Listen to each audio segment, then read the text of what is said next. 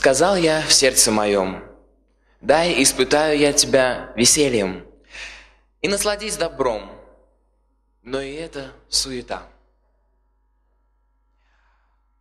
О смехе сказал я, глупость, и о веселье, что оно делает? Вздумал я в сердце моем услаждать вином тело мое, и и между тем, как сердце мое руководилось мудростью, придерживаться глупости, доколе не увижу, что хорошо для сынов человеческих, что должны были бы они делать под небом и в немногие дни жизни своей. Здесь говорится о том, что Соломон, екклесиаст или проповедник, это царь Соломон, которого Господь благословил великой мудростью, который не обладал никто из людей до него и после него. И как человек мудрый, что одно, одна из, одно из умений мудрости человека, который на самом деле уже является более развитым, мудрым, поднятым, это умение анализировать в своем сердце. Это спрашивать себя внутри себя самого. Это ставить внутри себя вопрос, какое-то чувство и дать на него ответ предельно честно, каким ты видишь самим себя, каким ты видишь тот или иной поступок, действие, будущее этого действия. Чем Господь, чем человек э, воз, более возрос в Господе, чем он возрос более в мудрости, тем более четко и прямей будет его ответ внутри себя. Чем он более честен, он не сможет обмануть себя. Правда сразу скажет о себе. И тогда сказал он, сказал я в сердце моем. То есть он поставил перед собой четкую цель, царь Соломон.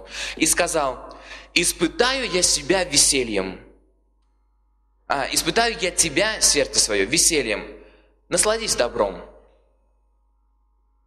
Он сказал, сердце мое, насладись весельем, то есть радостью, радостью жизни, насладись добром, то есть всем имением, что у тебя есть. И он приходит к выводу суета. Он сказал, э, напивайся вином, рассуждай мудростью, то есть будь мудрым, то есть не уходи, но пей вино как бы рядышком. Как бы, и он говорит, очень здорово здесь сказано, вздумал я в сердце моем услаждаться вином. Тело, услаждать вином тело мое. И между тем, как сердце мое руководилось мудростью, придерживаться глупости. Соломон сам сказал, заметьте это, что вздумал я услаждать сердце мое и тело мое вином, алкоголем. И я руководился мудростью, но между тем еще и глупостью. Он сравнивает это с глупостью. Он говорит прямо, что это является глупость. Для того, чтобы, а, для того, чтобы узнать, что хорошо для сынов человеческих в немногие их лета. Десятый стих. «Чего бы глаза мои не пожелали, я не отказывал им. Не возбранял я сердцу моему, моему никакого веселья, Почему? Почему? Потому что сердце мое радовалось во всех трудах моих. И это было долей моею от всех трудов моих. Интересное дело, вопрос, если подумать. Царь Соломон говорит не просто, знаете, о праздном веселье, как молодые могут, молодежь, они могут собраться, все скинуться, пойти толпой, говорить глупости, как-то гоготать, как угодно привести время праздное, а по сути, не особенно его заработав. Соломон же говорит, что я, я не запрещал своим глазам ничего. Я вообще не отказывал им. И сердцу моему никакого веселья и радости я не возбранял. Почему? Потому что все, что я мог себе позволить и радоваться, я заработал. Он говорит, Потому что, а, потому что сердце мое радовалось во всех трудах моих. То есть все, что бы я ни делал, мое сердце радовалось. И это было долей мою, это было частью мою. От всех трудов моих, все, что бы я ни делал, от этого я получал радость. И результаты которого я могу использовать в веселье. И оглянулся я на все дела мои, которые сделали руки мои. Он говорит, это все я сделал. И на труд, которым трудился я, делая их. И вот все суета и томление духа, и нет от них пользы под солнцем. То есть, опять же, в самом себе внутри он посмотрел все дела свои, он посмотрел все результаты. Он, как говорится, радовался, радовался и брал от жизни, как говорят в мире, все, Вообще все. И что, к какому выводу он приходит? И вот все суета и томление духа. Вы знаете, когда тоска, да, в мире, когда тоска внутри. Ты приходишь домой, а тебе не радостно. Тебе плохо, тебе хорошая вещь, тебе, предположим, дома мама испекла торт, ну просто вот испекла, нет, приготовила что-то вкусное. Обычно тебя это радовало, а нет, сегодня нет. Любимая музыка, она больше тебя не веселит, и то, что ты с кем-то общаешься, тебе это уже тяжело. Ты вообще никого не хочешь не видеть, не слышать. И Соломон, просмотрев все дела свои, он сказал, все это суета, и мне вообще плохо от этого. Мне нет от этого радости никакой. И от этого, и более того, он сказал, что пользы от этого, то есть реального результата, который ты мог бы забрать, то есть э, результат, который ты мог бы использовать вечно, всегда, он говорит, нету. 12 стих. «И обратился я, чтобы взглянуть на мудрость, на безумие и на глупость. Ибо что может сделать человек после царя сверх того, что уже сделано?» То есть он обратился к трем источникам, какие питают наше сердце. Он говорит, мудрость, безумие и глупость. И как он говорит, и так как он царь, у него в руках власть была вся, он говорит, что вообще может сделать человек после царя? Особенно, то есть он имеет в виду себя. Он мудрый царь, великий царь, который сделать может реально все. Он говорит, что вообще может сделать любой человек после меня? Он говорит, поэтому я обратился к трем источникам, которые стоят выше любого человека. Это мудрость, безумие и глупость. И он говорит, и увидел я, что преимущество мудрости пред глупостью такое же, как преимущество света перед тьмой. То есть абсолютная разница. Вообще нету ничего одинакового в них.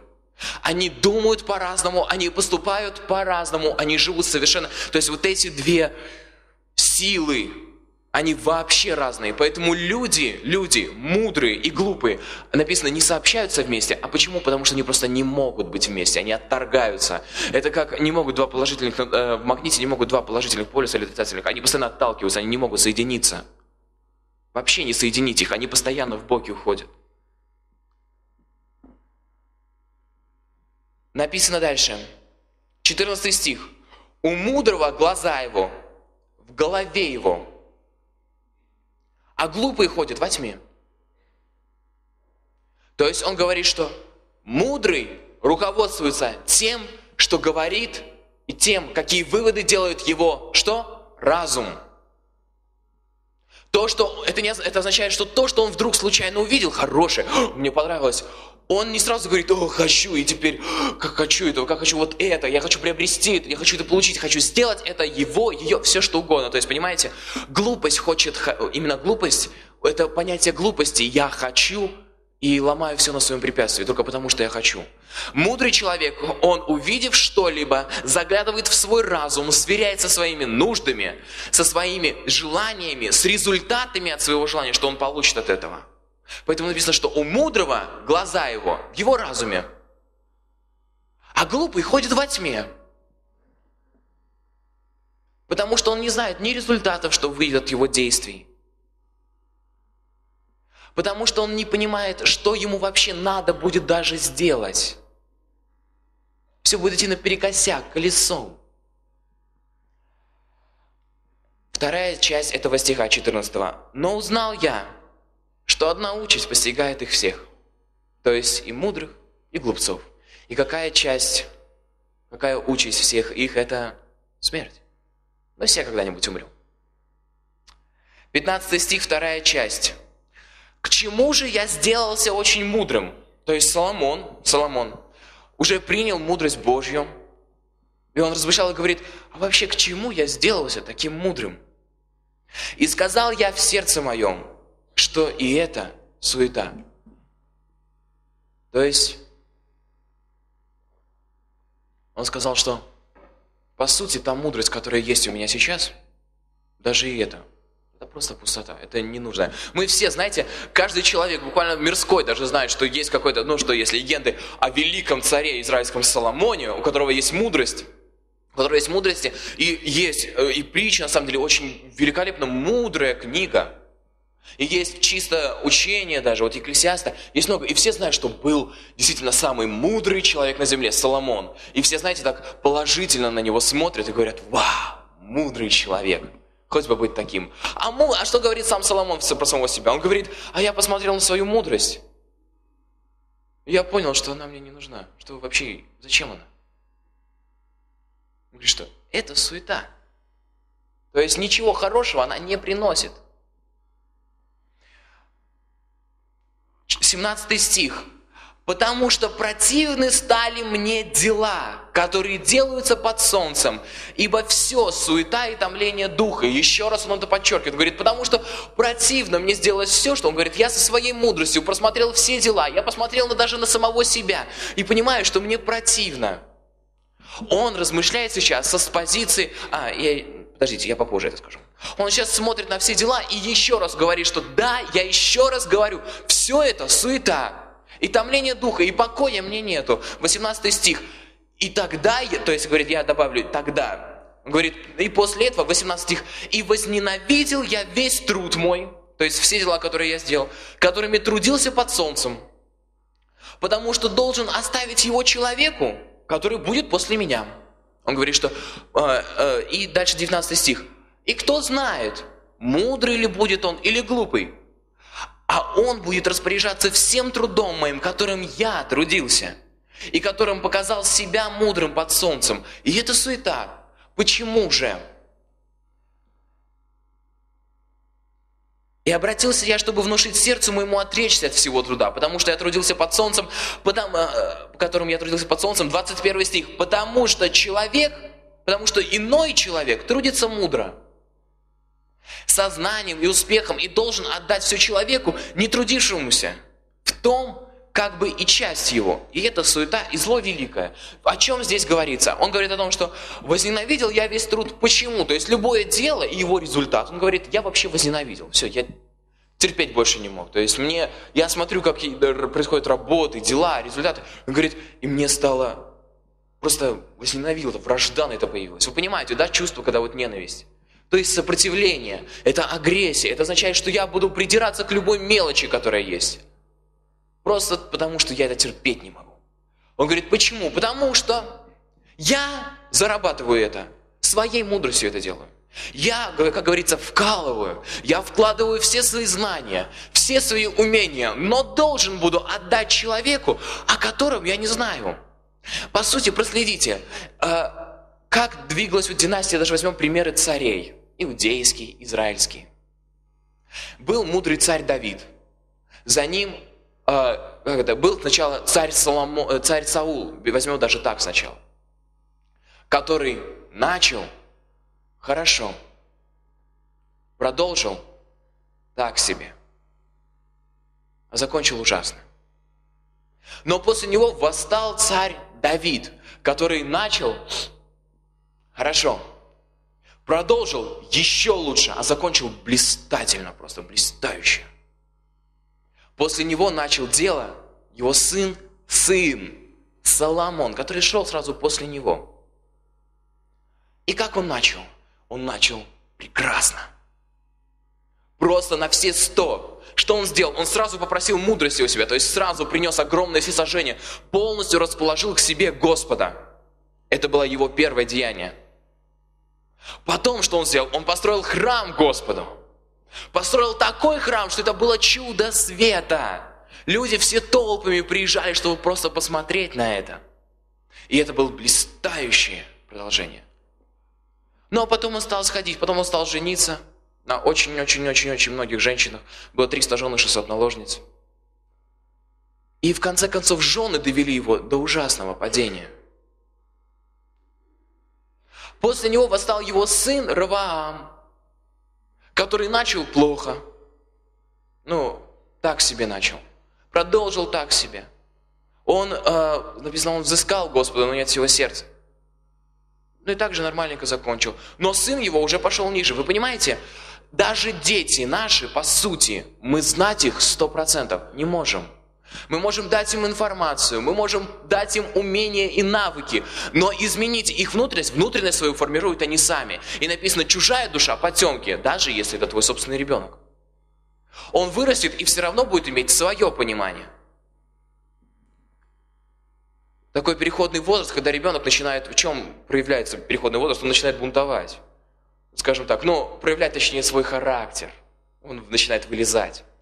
И это выражается через противление какое-то, через какие-то дела, которые никогда были ему не свойственны, просто потому, что он начинает теперь проявлять самого себя, уже не по чьей-то воле, потому что родители были превыше и сильнее, а по своей воле.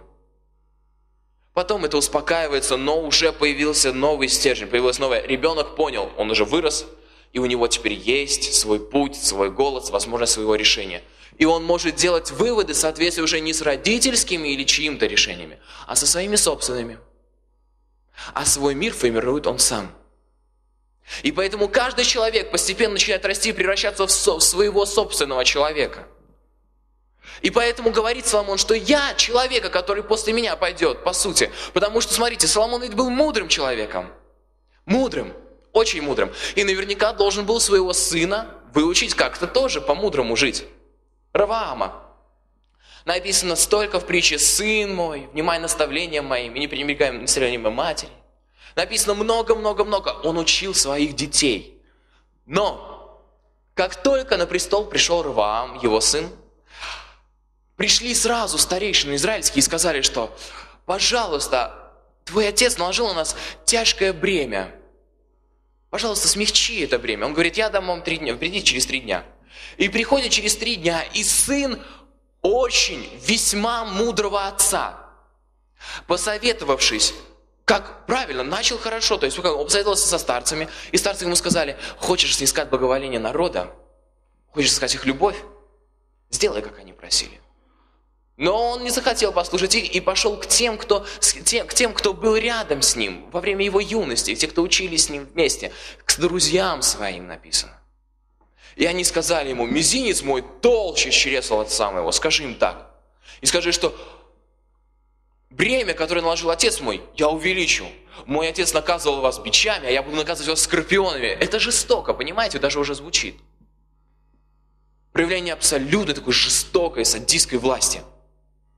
Сын мудрого отца, если бы рассудить в нашем, ну чисто мы рассудим каждый, смог бы сказать такое народу? Нет. Э, но понимаете, но что сказал, выбрал сын? Он не послушал старейшин, он пошел и сказал то, что сказали ему его юные друзья. Поступил глупо. Поэтому Соломон не просто так говорит, что понимаете, это все суета, и я вообще ненавижу каждый любой труд, потому что я вот тут тружусь, возвожу, делаю, я царство строю. А после меня кто-нибудь придет, а я не знаю, какой он. Я, по сути, его все равно не знаю. Он по-своему поступит. Так и случилось его сыну. Он поступил по-своему. Господь, конечно, тоже приложил к этому руку, потому что Соломон отступил. Но Равам тоже не взыскал его. 22 стих. «Ибо что будет иметь человек от всего труда своего и заботы сердца своего, что трудится он под солнцем? Потому что все дни его скорби, и труды его беспокойство. Даже и ночью сердце его не знает покоя. И это суета. Этим стихом я бы хотел закончить, 23 стихом, закончил свою первую часть, подвести. Понимаете, здесь говорится до 23 стиха, до 23 включительно, о прототипе, о настоящем полном примере человека, живущего мире, живущего своим путем, своим разумением. Соломон был именно таким тогда. Он и говорил о том, что я со своей мудростью, с тем, что я имею, займусь этим, займусь тем, попробую то и это, и пробовав одно за другим, одно за другим, как обычный человек – он разочаровался в этом, и в том, и третьем, и четвертом. И каждому он говорит, все это суета, то есть, э, что же суета? Суета – это беспорядок. Это когда ты работаешь, работаешь. Когда ты приходишь в грязную комнату, и ты не понимаешь, за что взяться. Берешь одно, взял, поднял журнал, ну тут какой-то мусор, кофту, поднял ее, и как бы, чтобы и даже не знаешь, куда деть ее, и ты понимаешь, что какое-то подвешенное состояние, убирать, не убирать. Вот когда вот это не это суета.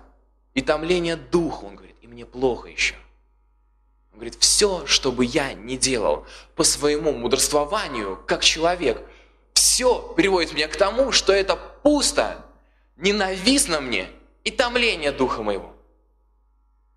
Вот такова наша жизнь без Бога. 24 стих говорит, а, 20, еще раз, еще раз 23. Говорит, потому что все дни его, еще добавочно, он говорит, потому что все дни человека, что? Скорби. А скорби – это боль, это переживание, это слезы, это печаль. Он говорит, потому что все дни его, от этого он никуда вообще не уйдет. То есть от всего, что он получал, от всего, что он делал, он получал скорбь. Написано, и, и труды его беспокойство. То есть, понимаете, э, он дело, дело, даже которое дело делал, он не мог оставить его, то есть, предположим, спокойно о нем его оставить. Предположим, идет дело, работа какая-то стройка, он переживает, и правильно ли сделали, хорошо ли сделали. Или вот тот путь, тот кран, правильно или, не, или правильно. Дойдет, не дойдет. Понимаете, у него все время было переживание. Это как в нашем мире, как бизнесмены, которые не знают, проснутся они следующий, ну, на следующее утро, и будут ли у них деньги или нет. И они постоянно трясутся. Они делают, они работают во имя работы, то есть делают деньги во имя денег, чтобы хоть как-то их удержать. Живут этим – Он говорит, поэтому это все беспокойство. Покоя нет. Итак, подводим результат.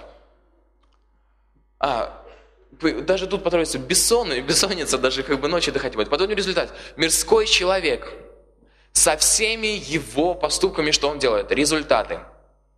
Итак, это суета, это томление духа, это ненавистное отношение – это скорби, печали. И пятое – это беспокойство, то есть отсутствие мира. Ты не можешь прийти спокойно домой, лечь и сказать, что «Ой, все сделал, слава тебе, Господи». Ты так не можешь сказать. 24 стих. Это последние три стиха, которые до конца, которые делают вывод. Написано, не во власти человека – и то благо, чтобы есть и пить, и услаждать душу своего от труда своего. Он говорит, не во власти человека от всех результатов своих услаждаться. Я увидел, что и это от руки Божьей. Он подводит результат и говорит, что вы понимаете, я даже и поесть спокойно или как-то успокоиться, расслабиться не, не в моей это власти, когда я живу своей жизнью, своим мудрствованием, своим путем. Он говорит, что потому что все это в руках Божьих. Не в моих руках, он говорит это, со своим величием, с тем, что к нему приходят тонны золота в год – это мы граммами, понимаете, меряем золото. Такими слиточками. А ему тонны приходят на его царство. Вы знаете, ну, царство израильское, оно было, ну, не супер большим, оно было великим, небольшим. Но столько не, не имела золота Америка, Россия, царство земли не имело такого золота, сколько имело небольшое государство Израиль. В карте посмотрите, оно не намного больше Эстонии сейчас. Тогда было, ну, больше, не намного, но все чуть-чуть. Понимаете? У него было то, за что мы переживаем. Золото было у него, драгоценные камни было у него. У него были вот эти елеи, у него были драгоценные вот эти запахи, ковры и шелка. Все было в этом царстве. Все это было достигнуто его мудростью, которую Господь ему дал. Понимаете? И со всем этим величием он говорит, не в моих и вообще не человеческих, это руках. Даже порадоваться простой радостью от дел рук своих. Все это в руках Божьих. Почему? 25 стих. Потому что кто может есть и кто может наслаждаться без него вообще? 26. Ибо человеку, который добр пред лицом его, то есть не в глазах своих добр, а добр по Божьим стандартам, который ходит пред его лицом. Он, дай, он дает мудрость, он дает и знание. И что он дает третье? Радость. Он дает вещь, которую нам в мире просто не получить. Потому что что бы ты ни делал, будь то учеба, Господи, мне надо сделать то и выучить это, и подготовиться к тому и третьему. Я сам знаю, то есть людей, а, они хорошисты, понимаете, они учились лучше, чем я. Я не супер пекся о своей учебе, но сдал как бы неплохо, сдал хорошо.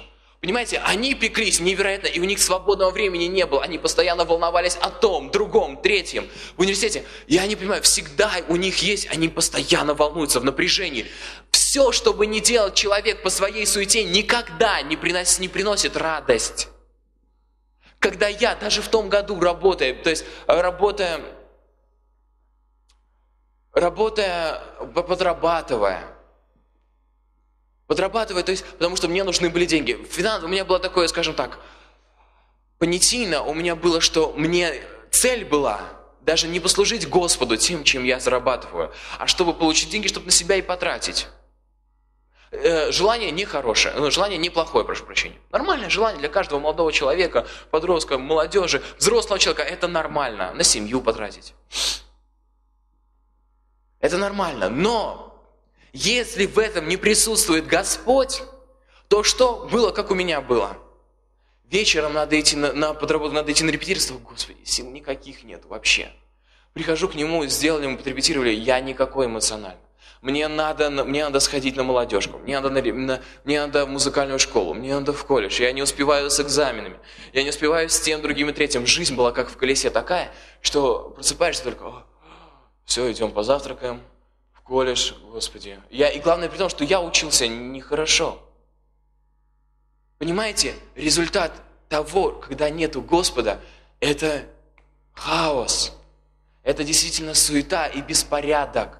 И знаний нету, не прибавляется. Ты учишь и не выучиваешь. Ты делаешь и не получаешь. Но написано, ибо но человеку, который добр пред глазами его, он дает мудрость. Мудрость – это опыт. Это опыт от пережитых вещей.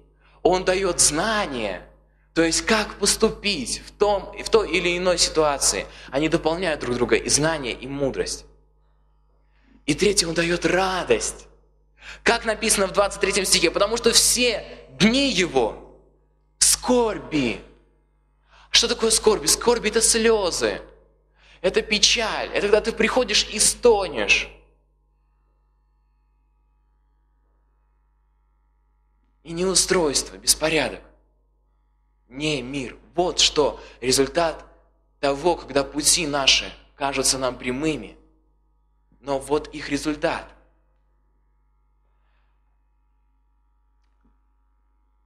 Дальше, второй стих. А грешнику, то есть грешнику, мирскому человеку, дает заботу собирать и копить, чтобы после отдать доброму пред лицом Божьим.